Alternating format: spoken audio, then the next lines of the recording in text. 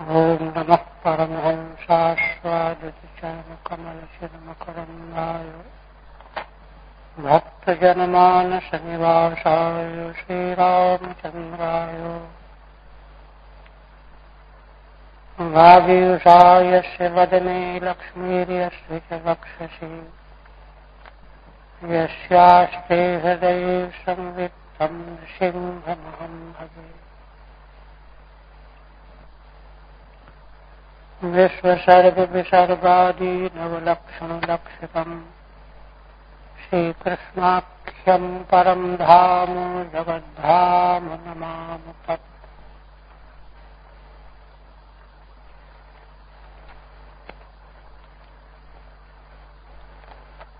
श्रीमद्भागवत के तृतीय स्कंद में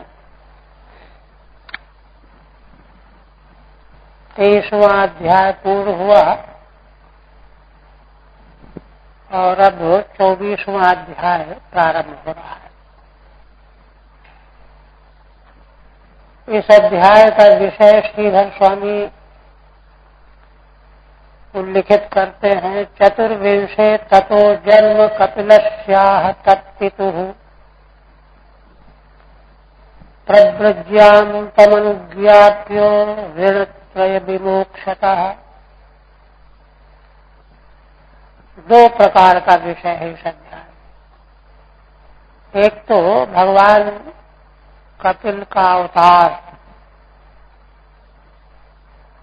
और दूसरा महर्षि करदम का तीनों ऋणों से उर्ण हो जाने के बाद संन्यास के लिए चले जाना, बल को चले जाना। यह दो प्रकार का विषय। पूर्व में देवी देवहूति ने अपने भीतर बड़ी ग्लानी का अनुभव करते हुए वैराग्य की बात कही कि आप जैसे तत्वज्ञानी, आत्मज्ञानी पति को प्राप्त करके भी मैंने समय व्यर्थ में गवा दिया। जो कर्म, धर्म का साधन नहीं बनता, तथा निष्काम होकर के वैराग्य की ओर नहीं ले जाता, चित्त शुद्धि और वैराग्य के पश्चात अनंतर भगवान की अर्चा में नहीं लगता। ऐसा जन्म, ऐसा जीवन मृत्यु के समान है, न के समान है, कुछ भी नहीं। मेरा यही दुर्भाग्य रहा कि मैं आपको समझ नहीं पाई। और भगवान की माया से मोहित होकर इंद्रियार्थ के प्रसंग में ही समय गमा दिया। इस तरह से वैराग्य की बात करती हुई एक बात उन्होंने यह कहा कि अबुद्धि पूर्वक यदि असत प्राणियों से संसर्ग होता है तो उसका परिणाम बार बार जन्म मृत्यु संस्कृति चक्र। किंतु, यदि सदपुरुष से उसका संबंध होता है संग होता है तो उसका परिणाम बार बार जन्म मृत्यु का चक्कर नहीं होता। तो भले ही मैंने विषयों के लिए ही संबंध संग किया किंतु आप तो सत्पुरुष हैं। आपके साथ किया गया भले विषयों के लिए ही संग हो, वह सृष्टि चक्र का संस्कृति का कारण नहीं हो सकता। इस तरह से बड़े विवेक की और वैराग्य की बातें देवी देवहूति ने की। तब आगे। मैत्रेय उवाच निर्वेद वादनीमेवं मनोर्दुहितरम मुनि। दयालु शालिनी माह शुक्लाभिव्याहृतम स्मरण श्री मैत्रेय जी प्रसंग को आगे बढ़ाते हुए कहते हैं, मुनि श्री करदम करदम मुनि ने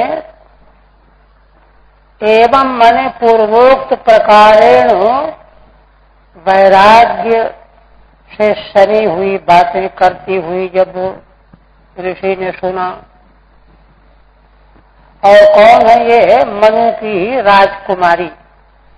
मनोर भीतर राजकन्या। है किंतु इस प्रकार से विवेक पूर्ण जीवन कैसा होना चाहिए? मानव जीवन प्राप्त करके उसकी अंतिम परिणति कहाँ पहुंचनी चाहिए? उससे मैं लापरवाह होकर के भूल खा गई। इसलिए ऐसी जब बातें वे कर रही थी तो मुनि को बड़ी दया आई। दयालु। दया करना स्वभाव है उनका। स्वभाव में आलुच प्रत्यय होता है। शुक्लाभिव्याहृतम स्मरण शालिनी माह शुक्ल माने भगवान विष्णु ने जब दर्शन दिया था करदम जी को तो इनको कई प्रकार के वरदान दिया था। तो उन्हीं भगवान का जो वचन था कि मैं तुम्हारे यहाँ अंश के सहित अवतार लूँगा। भगवान के उस वक्तव्य का स्मरण करते हुए, शालिनीम देवभूतिम आह। शालिनी माने ऐसे दिव्य मंगल में स्वभाव वाली देवहूति से बोले। ठीक है शालिनी श्लाघ्याम। शालिनी पद का प्रयोग कहाँ किया जाता है? जिसका जीवन श्लाघनीय हो, प्रशंसनीय हो, चिंतनीय हो, अनुकरणीय हो तो देवी देवहूति का सारा जीवन, मन, वाणी और क्रिया उच्च कोटि की है। तभी तो उनको वैराग्य हो रहा है। स्वेच्छाचारी प्राणी को वैराग्य नहीं होता। उसको तो ये होता है कि अरे, अगर मैंने ऐसी चालाकी की होती तो ऐसा कर लेता, वैसा कर लेता, ये बोलता है। भूल हो गई मुझसे। अपनी गुणज्ञता, अपनी चालाकी की क्या का स्मरण करता है? किंतु धर्मात्मा प्राणी को होता है कि अरे, देखो तो कैसे मैं विमोहित हो गया। ये शालीनता का लक्षण है। तो उनसे कहने लगे शुक्लेन अभिव्याहृतम। भगवान विष्णु के द्वारा जो हो, पूर्व में दर्शन देने के समय कहा गया था। क्या कहा था भगवान ने? साहम स्वांश कलया। अंश कलाओं के सहित मैं तुम्हारे यहाँ अवतार लूँगा। ये कहा था। अच्छा देखिए और जगह तो हो, उपासक जो है, भगवान से मांगते हैं कि आप हमारे पुत्र बन करके अवतरित जी ने मांगा नहीं। किंतु भगवान ने अपने क्योंकि एक विशेष प्रयोजन आगे जो बताएँगे, उसके लिए भगवान अपने से करुणा करके अवतार लेने के लिए तैयार हैं। तो भगवान के उसी बात का स्मरण करते हुए बोले, ऋषि रुवाच, क्या कहते हैं कि हे देवी, हे भद्रे माँ खेदो राजपुत्री थम, आत्मान प्रत्यनंदित हे राजकुमारी, इस प्रकार से तुम अपने लिए खेद मत करो, आत्मान माँ खिदा हाँ, क्यों? भूल हो गई तो खेद होना चाहिए। कहते, नहीं, तुम तो अनिंदिता हो। तुम्हारा जीवन एक एक क्षण जो है बहुत ही प्रशस्त व्यतीत हुआ है। तुमको अपने लिए शोक नहीं करना चाहिए, खेद नहीं करना चाहिए। खेद किन के लिए करना चाहिए? रामायण में गोस्वामी जी ने बड़ा बढ़िया वर्णन किया है। अयोध्या का कौन कौन शोक करने लायक होते हैं? बड़ा लिस्ट बनाई यह व्यक्ति शोक करने योग्य है यह शोक करने योग्य है यह शोक करने योग्य किंतु महाराज दशरथ के लिए शोक कर रहे थे भरत जी। तो वशिष्ठ जी कहते हैं कि वत्स तुम्हारे पिता जैसा राजा तो न कोई हुआ आज तक। न आगे होने वाला इसलिए तुम्हारे पिता शोक करने योग्य नहीं है। उनके व्यक्तित्व को पहचानो समझो। उसी प्रकार से कह रहे हैं कि तुम अपने लिए शोक न करो।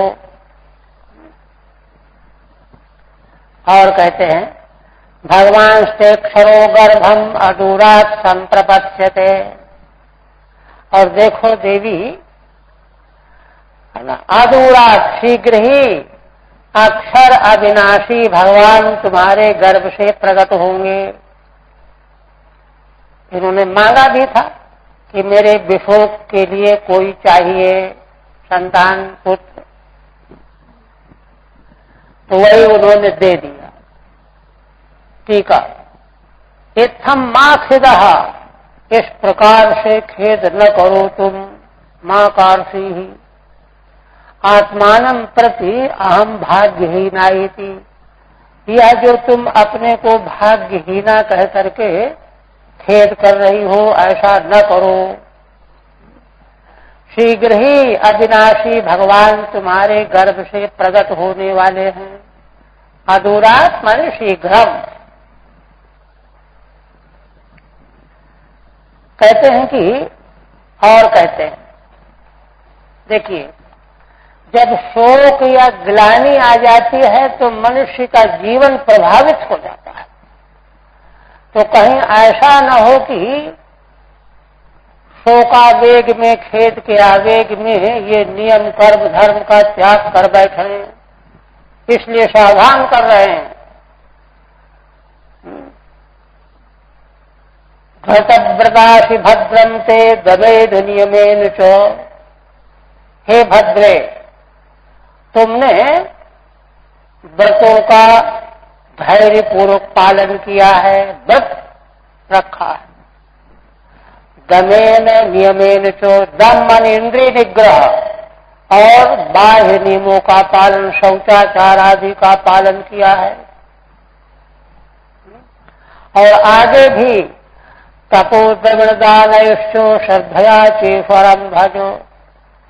तपस्या करती हुई।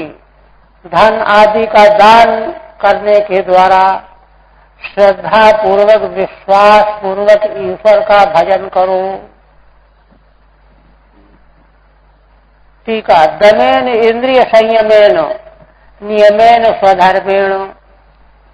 इंद्रिय संयम पूर्वक और नियम अपने धर्म का पालन करते हुए तपांश द्रविण दानादि तई तप आदि और धन आदि का दान करना इन साधनों के द्वारा भगवान का ईश्वर का भजन करो। सात आराधिता शुक्लो वितन्वन मामकम यह ते हृदय ग्रंथ मौधव्यो ब्रह्म भावना और कहते हैं कि, हे भद्रे, इस प्रकार से वे भगवान विष्णु, त्वया आराधिता सन जब तुम उनकी अर्चा पूजा करती रहोगी। तो वे भगवान मामकम यश वितनवन। मेरा यश फैलाते हुए संसार में यही कहा जाएगा ना कि करदन देवहूति के घर में भगवान ने जन्म लिया यश बढ़ेगा, है ना?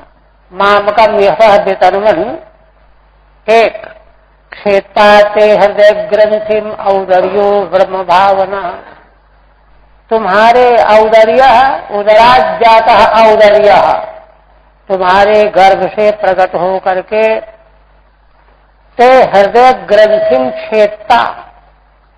तुम्हारे हृदय में जो ग्रंथि है, अज्ञान की जड़ चेतन की जो ग्रंथि है अहंता ममता की जो ग्रंथि है, वही तो दुख देने वाली है।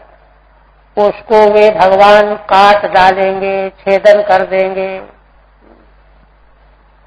ब्रह्म भावना माने ब्रह्म पर तत्व का उपदेश करने के द्वारा। तत्वोपदेश पूर्वक हो, तुम्हारे हृदय की ग्रंथि का वे छेदन कर देंगे। ठीक है।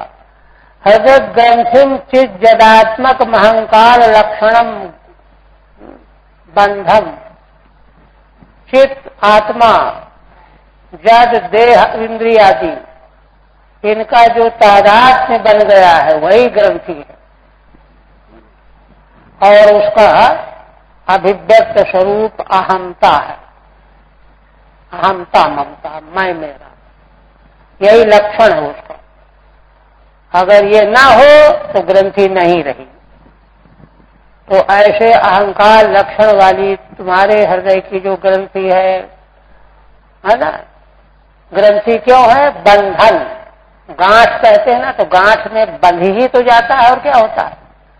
तो इसको छेदता माने छेद देंगे भगवान, तोड़ देंगे, ग्रंथि को खत्म कर देंगे। औदर्य पुत्र सन तुम्हारे उदर से प्रकट हो करके माने तुम्हारे पुत्र हो करके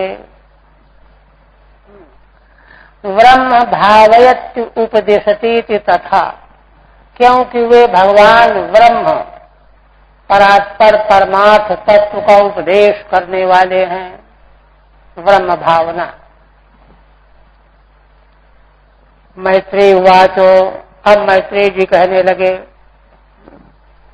इस तरह से जब महर्षि करदन ने देवी देवहूति को संतुष्ट किया, उनकी ग्लानी, उनका खेद सारा का सारा दूर हो गया।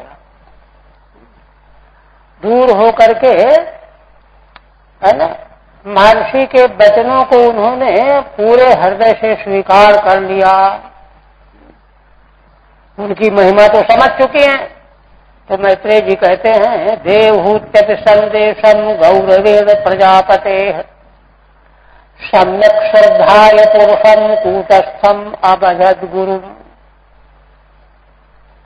करदम जी के उपदेश को सुन करके देवी देवहूति ने भी प्रजापते संदेशम गौरवेण, है ना? अग्रहित। बड़े गौरव पूर्वक करदम जी के उपदेश को स्वीकार कर लिया, ग्रहण कर लिया।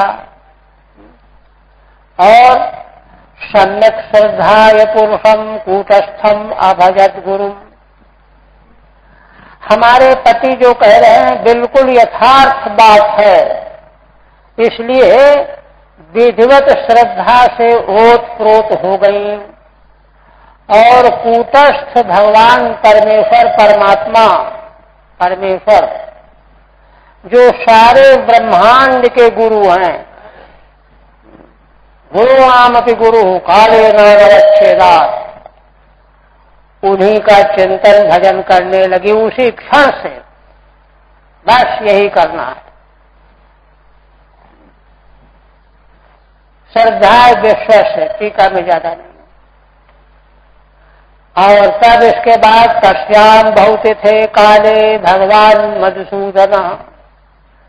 कार्दमम वीरिमा पंगो यज्ञ अग्नि अग्नि उदारुणी। बहुत समय बीतने के बाद भगवान मधुसूदन सगुण साकार रूप में श्री करदम जी के वीर में प्रविष्ट होकर के जैसे अग्नि काष्ठ में प्रकट हो जाती है, उसी प्रकार से भगवत तत्व सर्वत्र व्यापक है ही। काष्ठ में अग्नि तो पहले से रहता है। बाहर से थोड़ा आता है। तो उसी प्रकार से भगवान सर्वत्र व्यापक रूप में रहने वाले हैं।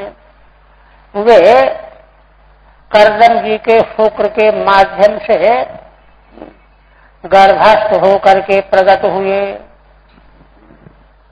यज्ञ प्रकट हुए। टीका बहुत से बहुतरे काले अतिक्रांते सती।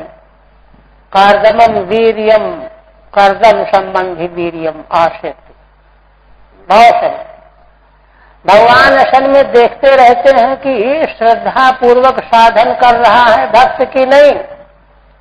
श्रद्धा पूर्वक होगी अगर साधना उसकी तो चाहे कितना समय लग जाए, डूबेगा नहीं।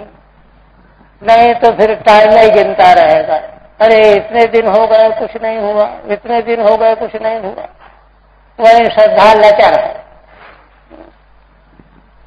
इसलिए भगवान ने अपने को प्रकट कर लिया।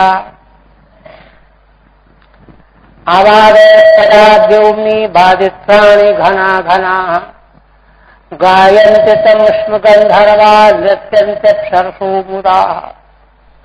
भगवान के प्रकट होते ही आकाश में घना घना गर्जना करते हुए बादल वर्षा करते हुए और आवाज़ गर्जना करने लगे। और गायंत तम स्म गंधर्वा गंधर्व लोग भगवत यश का गान करने लगे। अक्षराएँ प्रसन्न होकर के नृत्य करने लगी। सारी सृष्टि में उत्सव मनाया जाने लगा।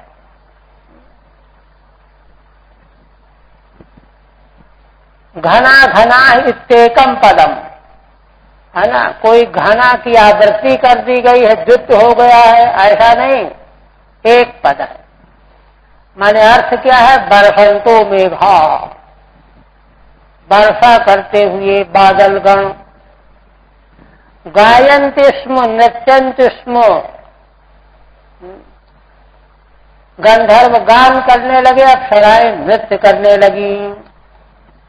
और पेतुष मनसो दिव्या खेचर अपवर्जिता। प्रसेदुश्च दिशा सर्वा अंधांशु च भगवान मैत्रेय जी कहते हैं कि विदुर जी, भगवान के प्रकट होते ही खेचर ही देव अपवर्जिता, परित्यक्ता दिव्या सुमनस पेतु देवताओं ने आकाश मार्ग से फूलों की वर्षा की और प्रसेदुष्ट दिशा सर्वा सारी दिशाएँ प्रसन्न हो गई। सर्वा दिशा प्रसेदुष्ट अंधांश च, मनांश च, और जहाँ जहाँ जलाशय थे, समुद्रों में, नदियों में, कूप में, तालाबों में ये सब भी बड़े प्रसन्न हो गए, निर्मल हो गए मनांश चोर और सदपुरुषों के मन भी निर्मल हो गए। भगवान के, है ना, संकल्प और प्रकट होने पर सारी सृष्टि प्रभावित हो जाती है, अपवर्जिता मुक्ता। देवताओं ने फूलों की वर्षा की, उत्सव मनाया इसलिए वर्षा होने लगी। तत्कर्दमाश्रम पदम सरस्वत्या परिष्ठितम। स्वयंभूषाकम ऋषिभिर्मरीच्यादिभिरव्ययात। और क्या घटना घटी? तो कहते हैं कि उन करदम महर्षि के आश्रम में, जो सरस्वती से चारों ओर से घिरा हुआ है, बिंदु सरोवर नाम है।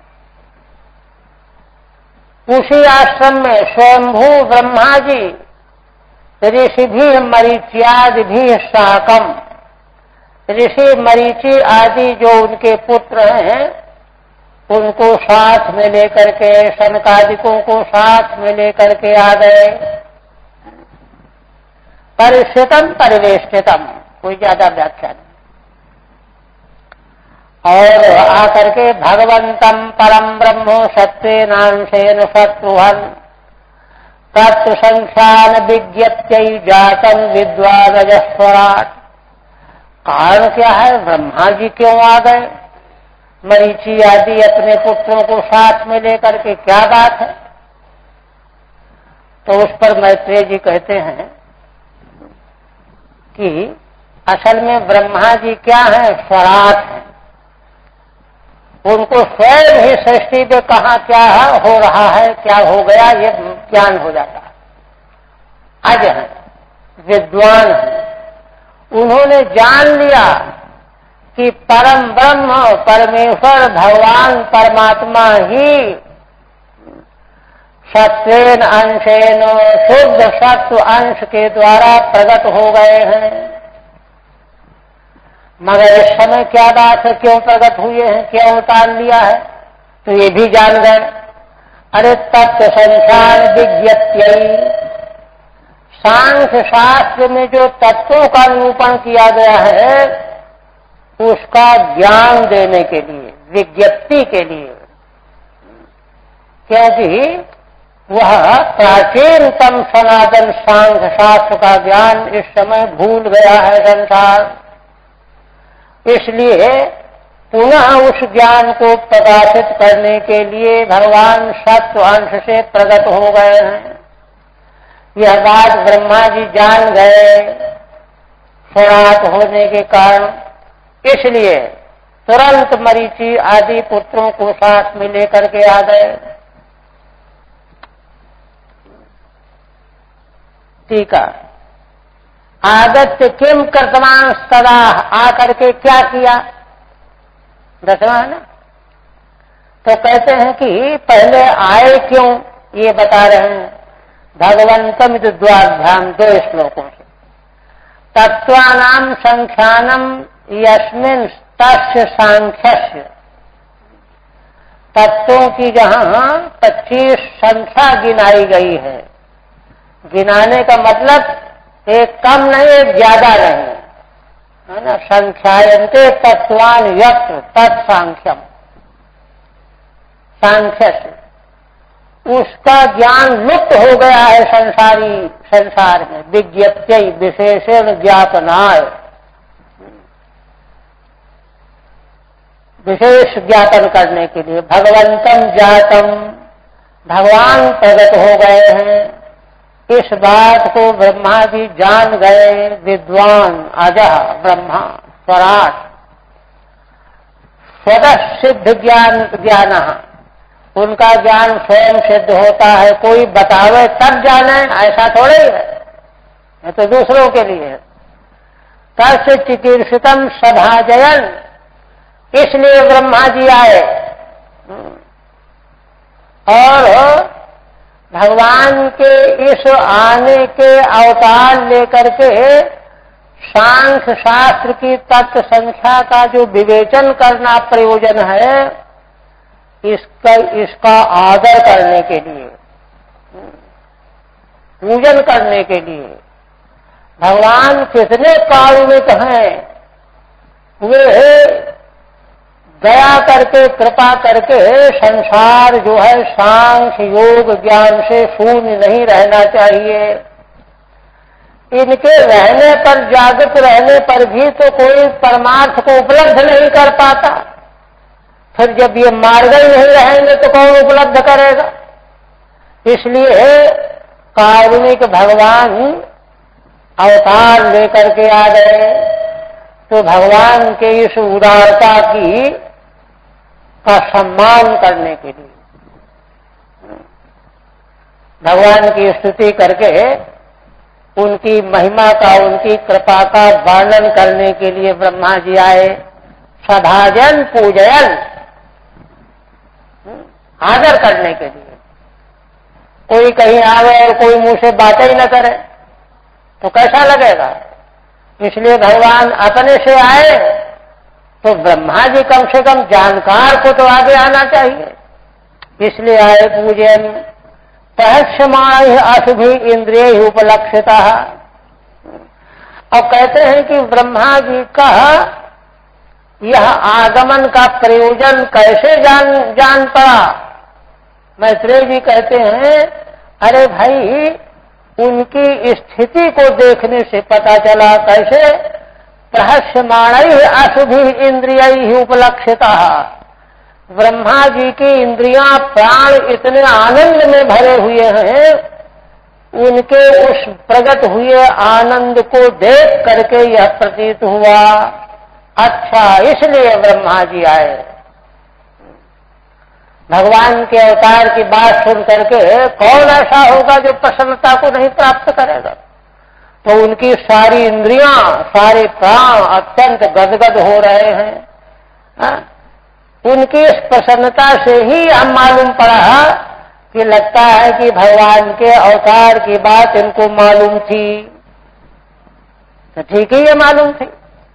कर्दमम चेदम अभ्यभाजित दो रंग आ करके भगवान ब्रह्मा ने पहले कर्दम जी से बात की, दोनों श्लोकों का एक साथ अंग है।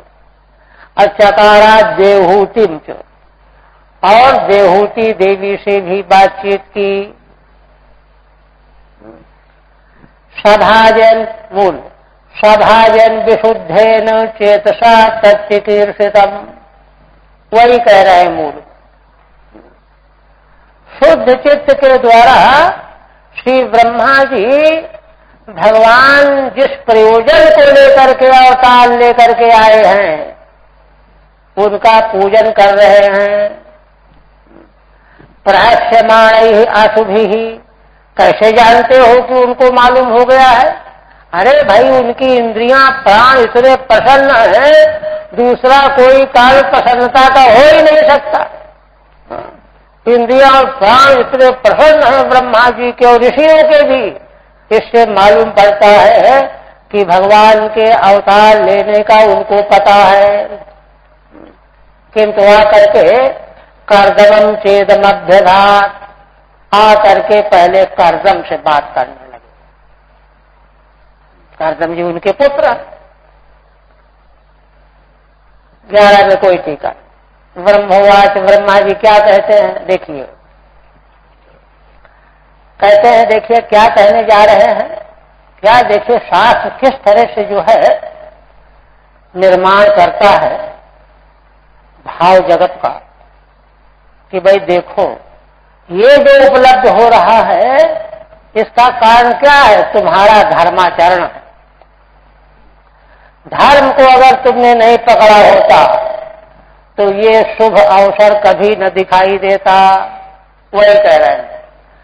तोया में अपचितिस्ता तो कल्पिता निर्व्यलीकता यन्मे संजग्रहे वाक्यम भवान मानद मानयन। हे वत्स कर्दम तुमने निश्चल भाव से मेरी आज्ञा स्वीकार करके तुमने मेरी पूजा की है। मैं अपचित करता हूँ। मारी पूजा की तुमने। माता पिता की पूजा करना क्या है? उनकी एक एक बात एक एक शब्द। है ना? मनसा बाचा करना स्वीकार कर लेना, निश्चल हो करके अनुचित उचित विचार सज जे माँ नहीं पित बैन। आज। उसको निर्विलेकता यह किया है तुमने। उसी का स्मरण करके वहाँ पर भी कहा था। पीछे प्रसंग आ चुका है ना, कि जो है, मनु जी ने प्रार्थना किया था।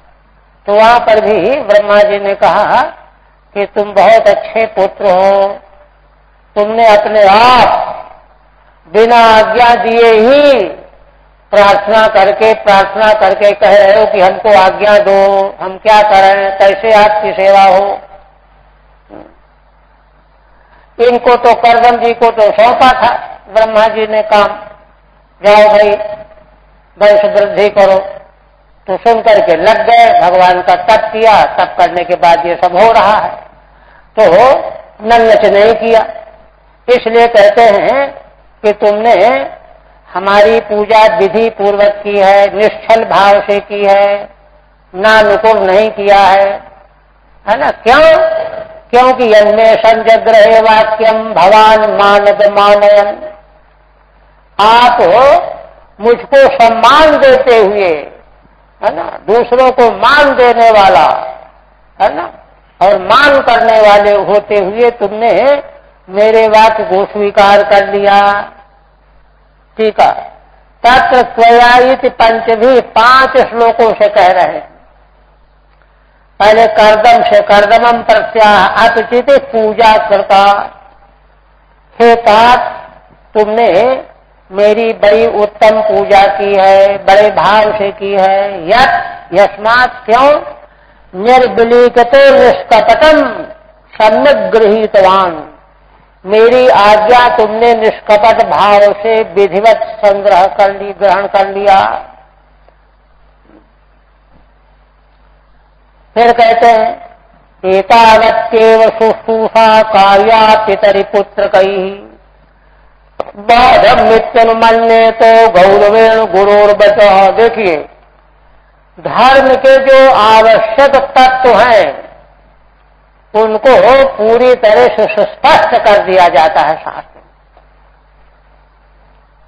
मात्र देव भव पितृदेव भव आचार्य देव भव अतिथि देव भव उसी को पुष्ट करते हैं। कहते हैं कि हे तात हाँ, पुत्र कई ही पितरी एतावती कार्य पुत्रों के द्वारा पिता की इसी प्रकार सेवा की जानी चाहिए। किस प्रकार की जानी चाहिए? बाधम इत्यनुमन्य तो पिता जो आज्ञा दे कि वत्स ये करो ठीक है, जो आज्ञा। इत्यनुमन्य तो ऐसा कह करके आदर करे। गौरवेण गुरुर बचा गुरु माने पिता के वचनों का बड़े गौरव के साथ। ठीक है, आप जो कहते हैं वही करेंगे। दृष्टांत हमारे यहाँ एक ऐसे बालक था। अब तो पता नहीं क्या हो गया होगा पास तक तो उसको कोई काम बताया था पिता ने। ब्राह्मण परिवार के थे। भूल गया। और भोजन के लिए आ गया, भोजन परोस दिया गया। वो समय याद दिलाया, माँ ने याद दिलाया। तो उन्होंने ये कहा था। तो कहा कि, अरे, भूल गया मैं तो। थाली छोड़ दी। तो माँ ने कहा कि, अरे, बेटा, अब क्यों? एक मील दूर जाकर के काम करना है। नहीं नहीं। भूल हो गई और भूल हमको मालूम पड़ गई भोजन छोड़ दिया, उसमें परोसा हुआ। जाके पहले वो काम किया और लौट करके आकर के वो ज़्यादा पढ़े लिखे नहीं थे। ऐसा परिवार था। किंतु वंश परंपरा जो शिक्षा दीक्षा इस प्रकार की चली आई।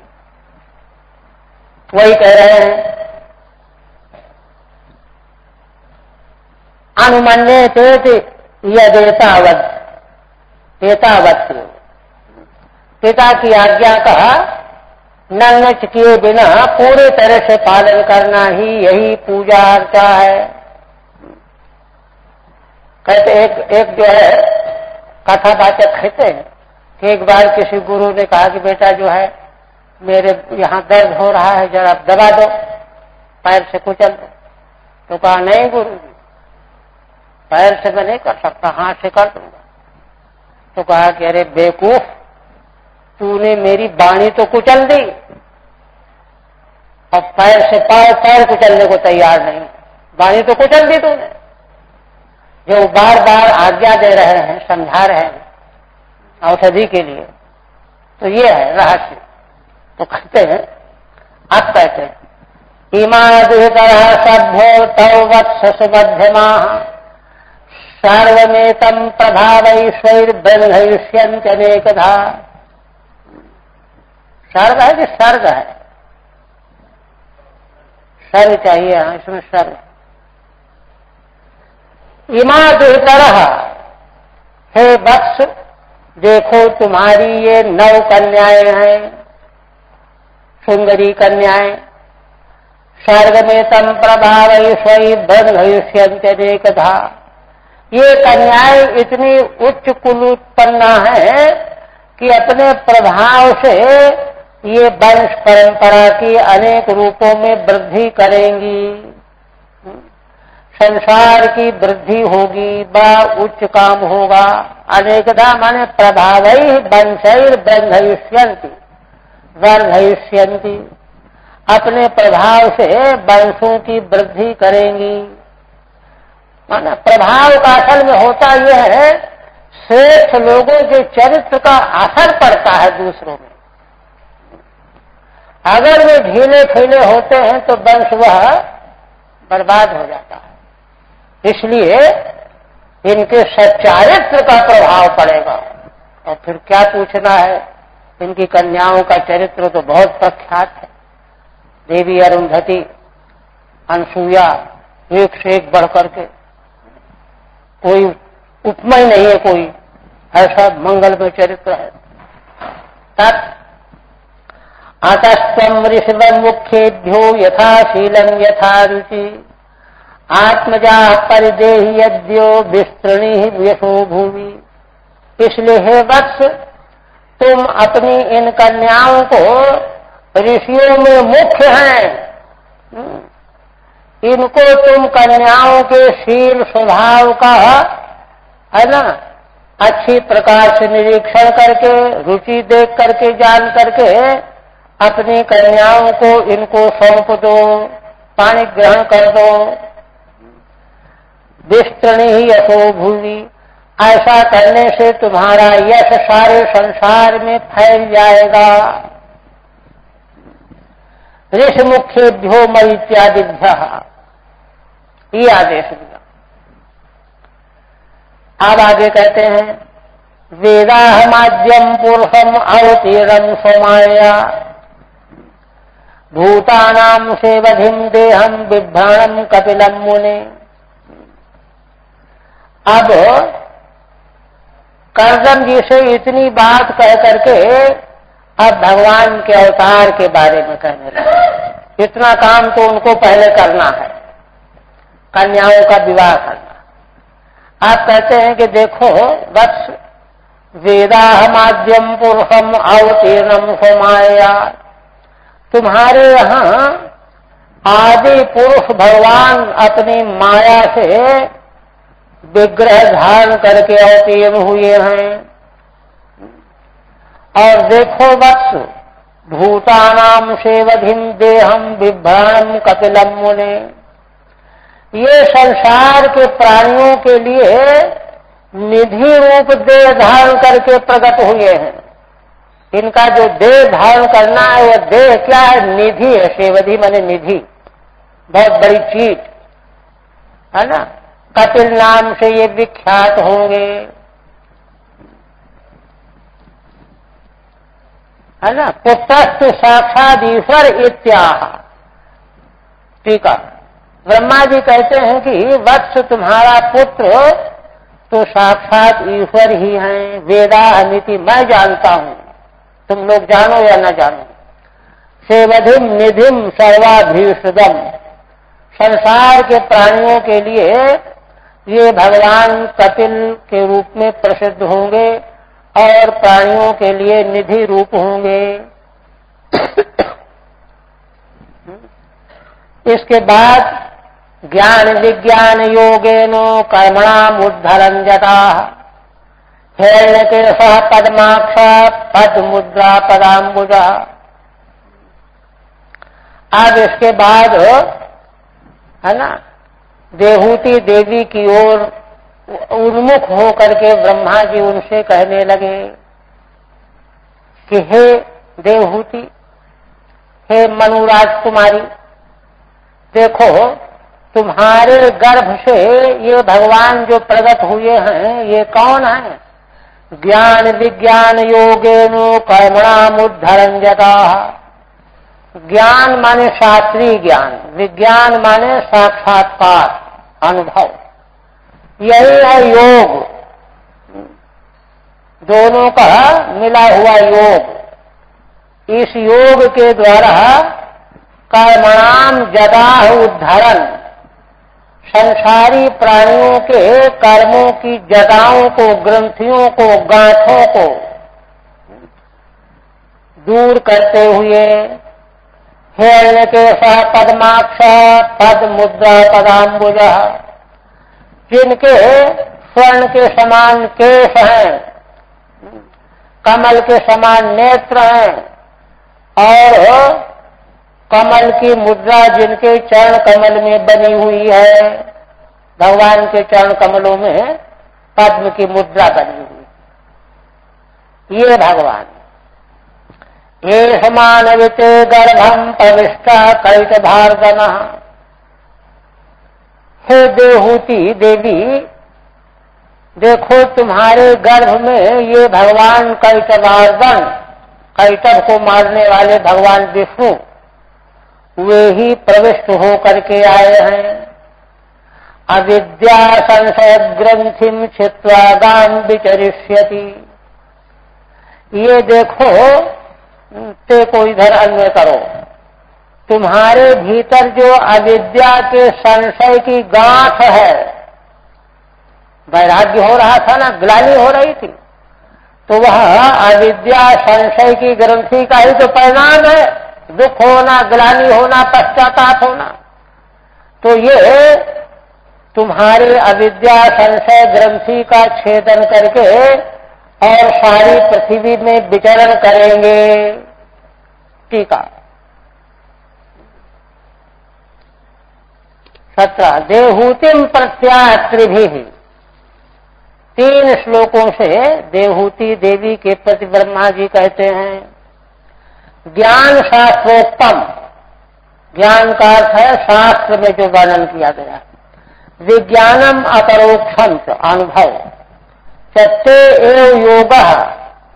ये ही दोनों योग हैं। योग माने उपाय।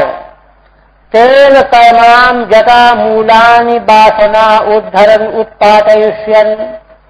इसी ज्ञान विज्ञान रूपी योग के द्वारा ये भगवान जीवों के कर्म की मूलों को गांठों को निकाल फेंकेंगे। और वे ही तुम्हारे उदर से प्रकट हुए हैं। पद मुद्रा युक्तम पदाम्बुजम यश्य। पद मुद्रा कमल मुद्रा से युक्त भगवान के चरण कमल है। अठारवा हे मानवी टीका में। अविद्या स्वरूपा ज्ञानम। अविद्या क्या है? अपने आत्म स्वरूप को न जानना। अज्ञान। संशय क्या है? मिथ्या ज्ञानानी। अविद्या जहाँ स्वरूप का ज्ञान आया, उसके बाद जो जो कुछ भी ज्ञान होगा, वो सब मिथ्या ज्ञान होगा। एक प्रकार का ज्ञान हो विक्षेप जिसको कहते हैं। तन्मयम तव हृदय ग्रंथि एकलमय ही हृदय की ग्रंथि होती है। जो संसार में भटकाती रहती है, उसको ये भगवान नष्ट कर देंगे। उन्नीसवा अयम सिद्धगणाधीश सांख्याचार्य सुसम्मत, लोके कपिल इत्याख्यान गंताते कीर्तिवर्धन।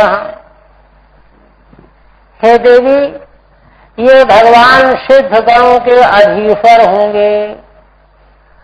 सांख्याचार्यों के ये सम्मत होंगे। लोके कपिल इत्याख्यान गंताते कीर्तिवर्धन।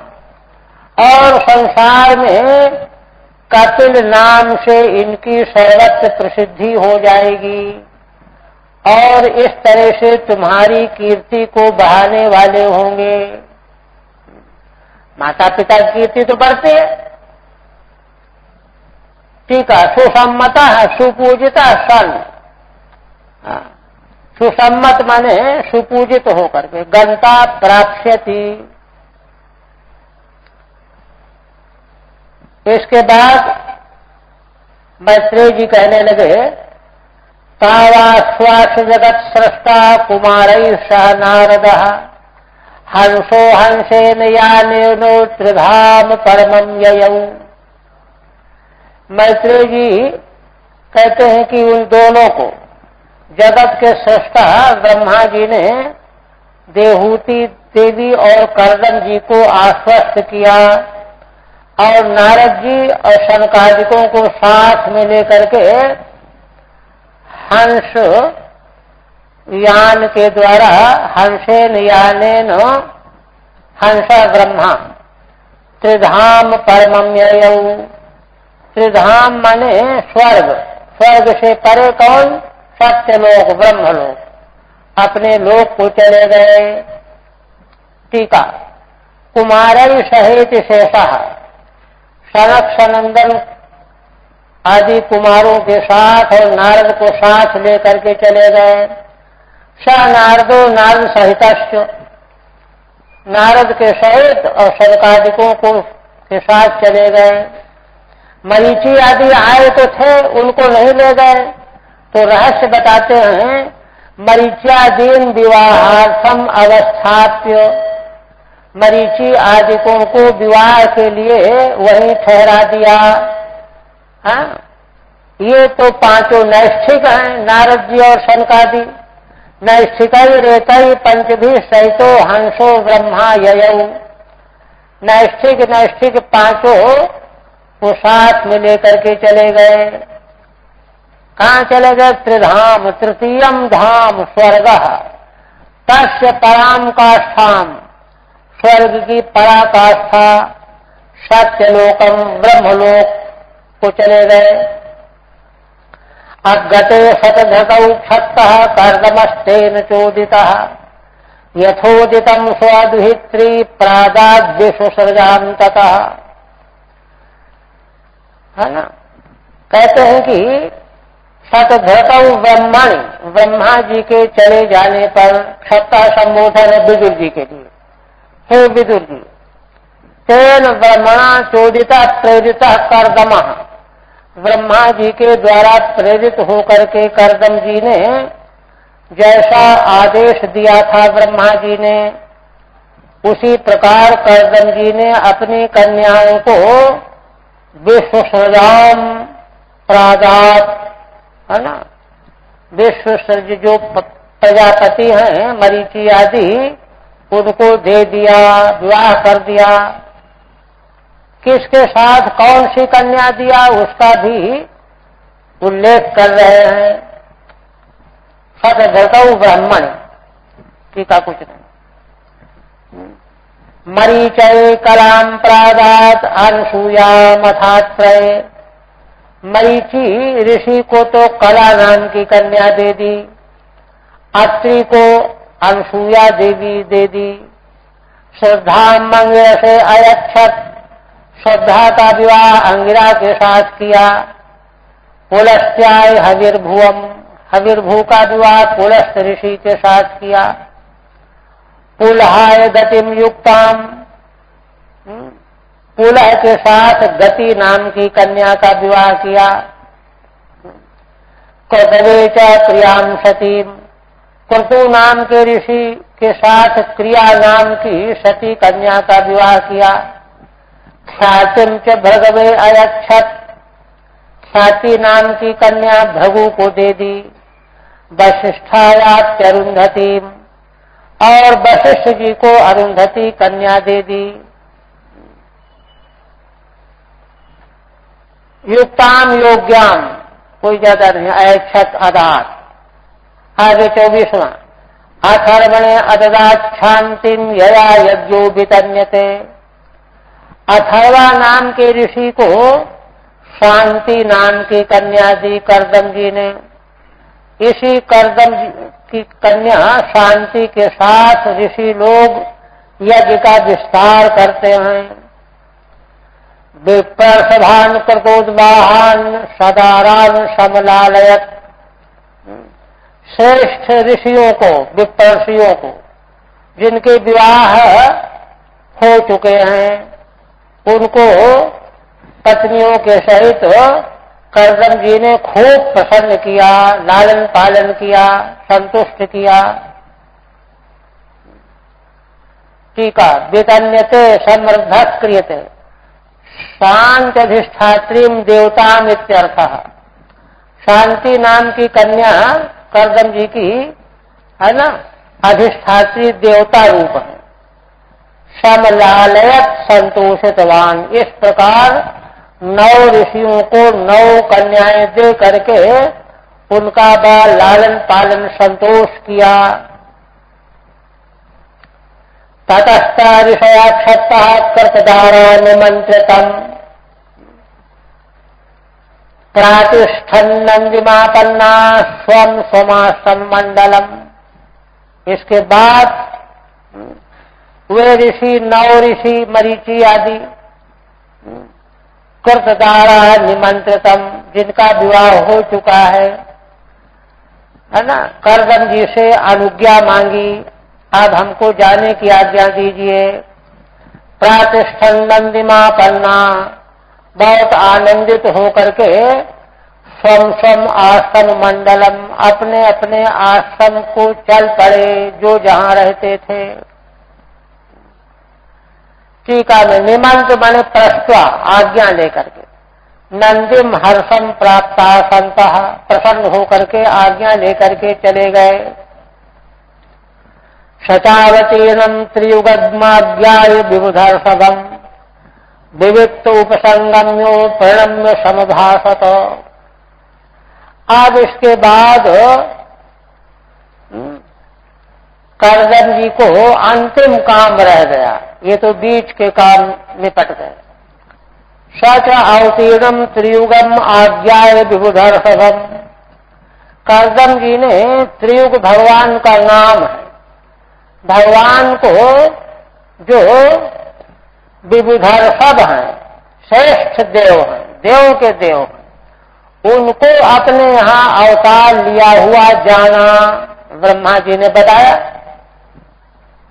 स्वयं भगवान ने भी तो कहा था। तब क्या करते हैं करदम जी? ये तो भगवान हमारे यहाँ अवतार लेकर के आए हैं। बड़े गदगद हो गए। एकांत में हाँ भगवान के पास गए विविध उपसंगम्यो, प्रणम्य समभाषत एकांत में उनके पास जाकर के प्रणाम किया। और समभाषत उनसे निवेदन करने लगे। पुत्र समझते तो प्रणाम क्यों करते? मगर भगवान समझते हैं। है ना? सच मुनि त्रियुगम विष्णुम विविक्त रहस्य एकांत में जाकर के भगवान है, दूसरा जाने चाहे न जाने। क्या कहते हैं, देखिए, अहो पापच्यमाना निरये स्वैर मंगल कालेन भूषा नूनम प्रसीदंती देवता। करदम जी अत्यंत गदगद होकर के भगवान से प्रार्थना करते हुए कहते हैं, कि अरे देखो तो हम लोगों का सौभाग्य। हम लोग, है ना, स्वयं अमंगल ही कर्म भी निरय पापत्य माना नाम अपने ही द्वारा किए गए पाप कर्मों के द्वारा हम लोग नरक में पड़े हुए हैं। संसार नरक तो है।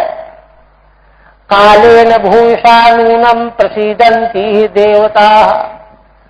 ऐसे जो हो प्राणी हैं, जब देवताओं की आराधना बहुत लंबे समय तक करते रहते हैं। भूषा कालीन। तब जाकर के देवता कुछ प्रसन्न होते हैं। अच्छा बोलो भाई, क्या चाहते हो? उपक्रम है ये।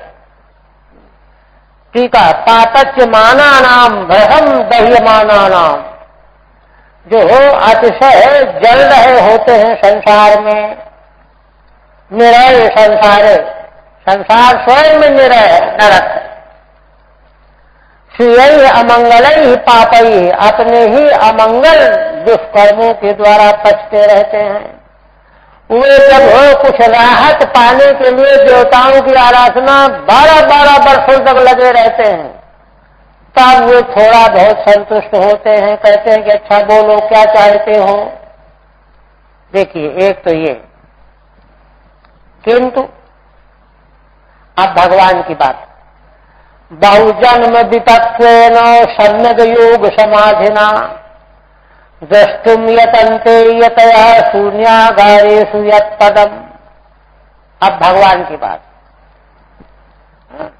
कहते हैं कि जिस भगवत पद को पहले बहुत जन्मों तक, है ना, सदाचार का पालन करते करते जब पाप नष्ट हो जाते हैं सम्यक योग समाधि उनको लगने लगती है और सब यति लोग शून्यागारे से एकांत जंगल में, गुफाओं में जा करके जिन भगवान का दर्शन प्राप्त करने के लिए यत्न करते रहते हैं, समाधि लगाते हैं, धारणा करते हैं, ध्यान करते हैं शून्य प्रदेशों में हाँ।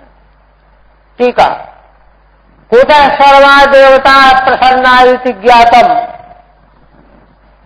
अब कहने जा रहे हैं कि देवता स्वयं तो बहुत दिनों में प्रसन्न होते हैं, लेकिन भगवान के प्रसन्न हो जाने पर सारे देवता प्रसन्न हो जाते हैं।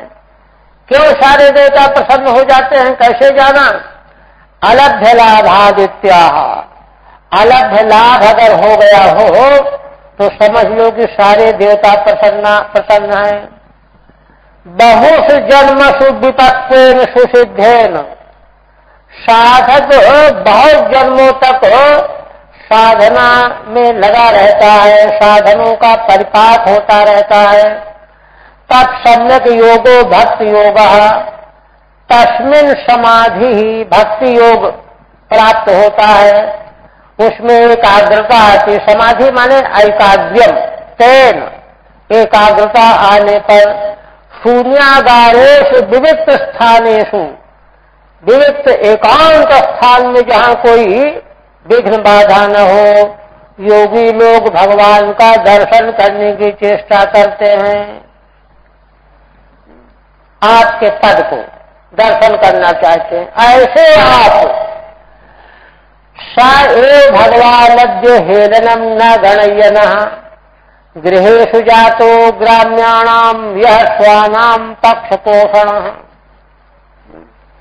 वे ही भगवान आज क्या कहते हैं? हेलनम न गणयन। देखिए, क्या कहते हैं? वे ही भगवान जिनका दर्शन योगियों के लिए भी दुर्लभ है, वे ही भगवान। हम संसारी प्राणी तो हो, भगवान अगर हमारे यहाँ आ भी जाए तो इनकी अवहेलना करते हैं। असल में है, अनजान आदमी मूर्खाणाम करता या स्तुति सात निंदई हो। मूर्ख अगर किसी की स्तुति करे तो वो निंदा ही। है उसको आता ही नहीं है स्तुति किसको कहते हैं? तो उसी तरह से कहते हैं कि आप हो तो सर्वज्ञ परमेश्वर हो, जानते हो कि इन लोगों के यहाँ हम जाएँगे तो ये उचित सम्मान तो करेंगे नहीं, जानते ही नहीं है। मूड है। हाँ? किंतु आप इसका ध्यान नहीं देते हो। क्या उदारता है? ना? न हेलनम न गणय हम लोग संसारी घर गृहस्थी वाले भगवान को अवहेलना करते रहते हैं। न गणय किंतु हमारी अवहेलना को आप नहीं गिनते। चलो बेचारे, कोई बात नहीं। गृहेश जातो ग्राम्याणाम, ऐसे हम ग्रामीण लोगों के घर में आप पैदा हो गए। यह स्वानाम पक्ष पोषण कौन भगवान? जो अपने भक्तों के पक्ष का पोषण करने वाले हैं। और इसके लिए भगवान को चाहे कितना ही तकलीफ़ उठानी पड़े है, वे हँसते हँसते तकलीफ़ उठा लेते हैं। आया ना प्रथम स्कंद में? अर्जुन जब द्वारिकापुर से लौट करके आए, भगवान तो पृथ्वी छोड़ के जा चुके थे। तब वो महाराज के पूछने पर बता रहे हैं कि देखिए वे हमारा सार्थ हमारे हमारे रथ चलाने वाले सारथी बन गए। यहाँ तक कि रात्रि में पांडव सोते थे, भगवान शिविर में पहरा देते थे। ये देखिए। सेवा पाठ अवश्य विलक्षण रक्षण करते अब कोई जो है भगवत्ता का अभिमान लिए रहे तो तो निधि नहीं पाएगा। तो वही कह रहे हैं कि आप हम ग्रामीण लोगों के द्वारा अवहेलना होनी है किंतु उसको नहीं गिनते हो। चलो बेचारे, कोई बात नहीं। क्यों? भक्तों के पक्ष को पुष्ट करने के लिए आप आ जाते हो। वेश जातो ग्राम्याणाम या स्वानाम पक्ष पोषण। है ना चाहिए जी? ठीक है। हेलनम अवज्ञान, टीका में कह रहे हैं। हेलन क्या अवज्ञा अब भगवान के साथ कैसा व्यवहार करना चाहिए? अल्पज्ञ जीव क्या जाने? कहाँ कर पाएगा? किंतु भगवान जो है व्यवहार कर लेते लाघवम नगणय अगणित्व जीव कितना भी, है ना महत्व न दे, भगवान जो है उसको नहीं गिनते।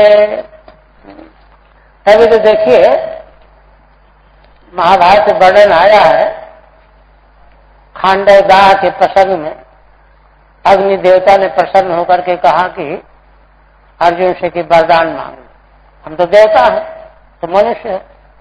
अर्जुन ने कहा कि अरे क्या वरदान मांगना? अच्छा भगवान जाने, जो वो चाहेंगे वो ठीक। भगवान के पास गए। तो उन्होंने कहा कि आप वरदान मांग लो। तो कहा, क्या वरदान मांगे? अच्छा ये वरदान दो कि अर्जुन से मेरी मित्रता कभी भंग न हो। ये वरदान मांग रहे ये वरदान मांग रहे हैं।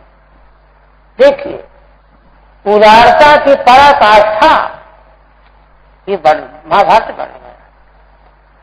तो इसीलिए तो कहा गया है, गोस्वामी जी कहते हैं कि उमा राम स्वभाव जही जाना का ही भजन तज भाव न आना। भगवान के ऐसे ही निर्मल अरम्य स्वभाव को जो जान जाता है, पहचान जाता है। हम वैसे बने तो ये थोड़े से केवल अर्जुन के लिए और फिर सबके लिए भगवान वैसे ही है। तो जो जान जाता है, पहचान जाता है ताहि भजन तज भाव न आना उसको फिर भगवान के भजन को छोड़ करके दूसरा भाव अच्छा लगता ही नहीं। सब बेकार, सब पूरा। तो कहते हैं कि इतनी उदारता कि आप अपने जनों का पोषण करते हो यम यम स्वानाम भक्तानाम तथम पोषणाशीत तथा सह। क्योंकि देखिए अब भगवान को एक जगह अनुभव हो जाए कि अरे, ये भक्त तो ऐसे ही होते हैं। अगरम बगरम व्यवहार करते हैं। क्या जाए इनके यहाँ? तो खत्म हो गया मामला और उनको तो कभी ज्ञान होना नहीं है। वो तो वैसे ही रहेंगे। इसलिए भगवान को हो वह सब सहन करके उनकी वृद्धि करनी पड़ती है। पुराणांतर में कथा आई।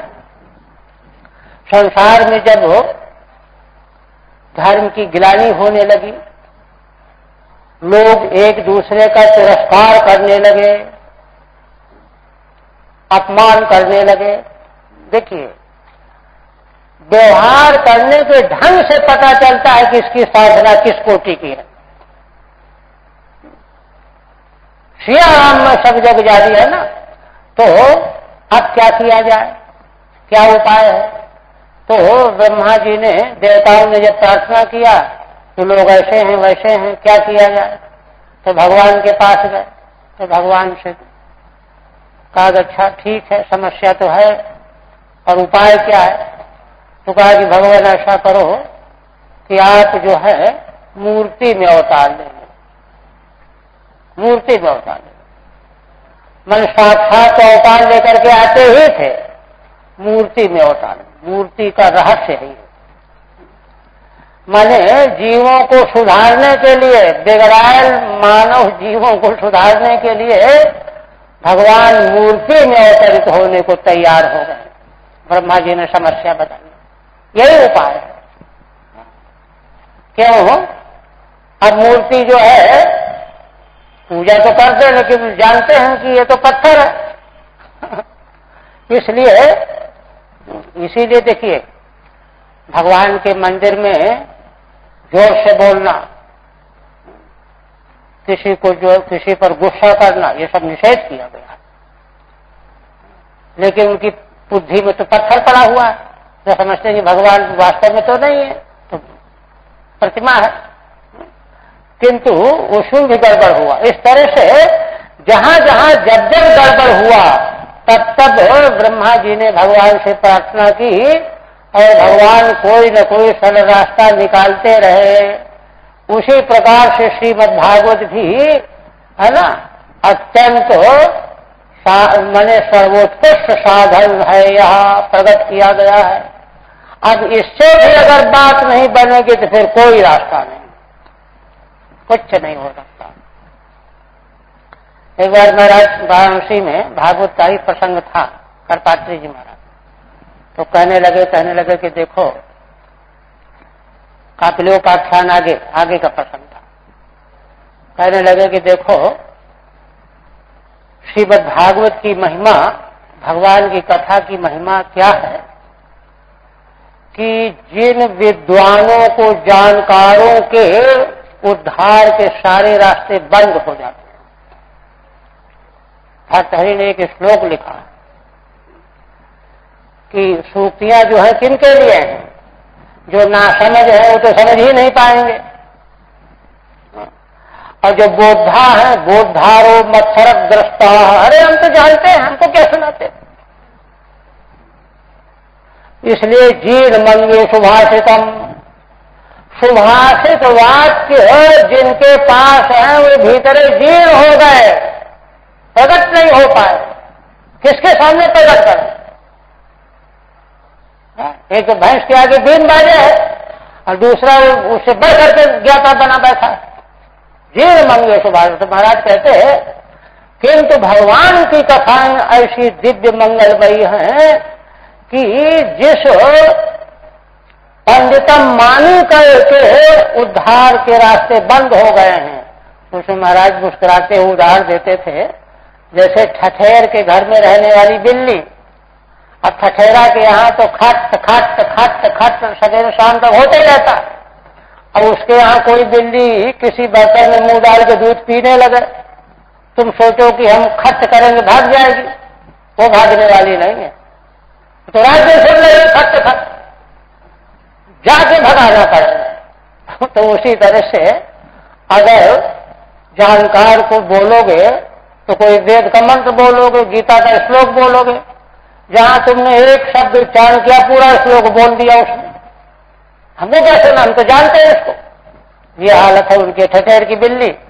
किंतु ऐसे लोग भी, यदि भगवान की कथा में नियम से भाग लेने लगे तो उसकी अपूर्वता यह है कि धीरे धीरे धीरे धीरे भले चाहे ऊपरी मन से ही शुरू करे।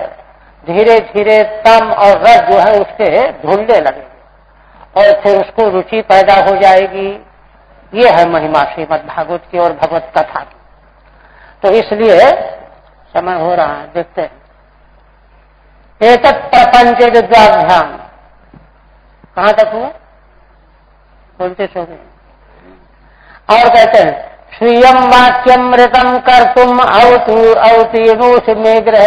हे भगवान, आप जो हैं, आपने वचन दिया था कि मैं तुम्हारे यहाँ अवतार लूँगा। उसी वचन को आप सत्य करने के लिए हमारे घर में अवतार लेकर के आए हो। नहीं, कोई ज़रूरी थोड़ा कि हमारे यहाँ अवतार लेकर के आओ। चिकीर्षु भगवान ज्ञानम भक्ता नाम मान वर्धन हे भगवान भक्तों के मान को आप बढ़ाने वाले हो, उनके लिए ज्ञान प्रकट करने की इच्छा से आपने अवतार लिया है। टीका एक प्रपंच द्वाभ्याम स्वयं एवावतीर्णोसी आप स्वयं अवतीर्ण हुए हो, सवाक्यम, तव पुत्रो भविष्यामीति। आपने अपना वचन को ख्याल किया मैं तुम्हारा पुत्र होकर के आऊँगा। या तत्सत्यम कर तुम उसको सत्य करने के लिए। ज्ञानम माने ज्ञान साधनम, सांख्यम जचितीर्थोषण सांख्य शास्त्र को प्रकट करने के लिए आप अवतरित हुए हो। और तान्यवते भी रूपाणी। रूपाणी भगवस्तव यानि चरोचनते स्वजना नाम रूपिण हे भगवान, आप जिन रूपों को ग्रहण करते हैं, वे ही आपके लिए अधिरूप रूप, उत्तम रूप। और दूसरे, यान यान चरोचनते स्वजना नाम रूपिण आपके स्वजन, भक्तजन आपका मानव शरीर ग्रहण करके ऐसा आप अवतार लें, ऐसे रूप में प्रकट हो ये भक्त कल्पना करते हैं। तो वे रूप भी आपको अच्छे लगते हैं। भक्तों के द्वारा कल्पना किए गए रूप भी, और स्वयं आप जो जिन रूपों को ग्रहण कर लेते हैं, वे रूप भी अभिरूप रूप हैं। परमार्थता तो आप अरूपी हैं, रूप रहित हैं। टीका। यानी तब अलौकिकानी चतुर्भुजादि रूपाणी भगवान के चतुर्भुजादि रूप तो अलौकिक और लोक में ऐसा रूप तो है नहीं। है ना? तो कहते हैं पान्य से अधिरूपाण योग ज्ञानी वे रूप ही आपके अधिरूप योग्य रूप होते हैं योग ज्ञानी यानी च स्वजना नाम रोचनते और दूसरे जो आपके भक्तों को जो रूप अच्छे लगते हैं। भगवान ऐसे रूप बना करके आवे, ऐसा रूप बना करके आवे। मनुष्य स्वरूपाणी, मनुष्य के समान। जैसे माँ कौशल्या ने भगवान से प्रार्थना किया कि आप शिशु बन जाओ। इधर देवकी देवी ने भी भगवान से प्रार्थना किया कि आप दिव्य रूप को छिपा लो मनुष्य रूप में आ जाओ। तो मनुष्य रूपा स्वरूपाणी तान्य पिते रोचनते, वे भी आपको अच्छे लगते हैं। तुरंत भगवान शिशु बन गए। रोचनते चर्थ आरूपिण प्राकृत रूप रहित वास्तव में तो आपका प्राकृत रूप नहीं है। अप्राकृत रूप ही है। बस यही रहने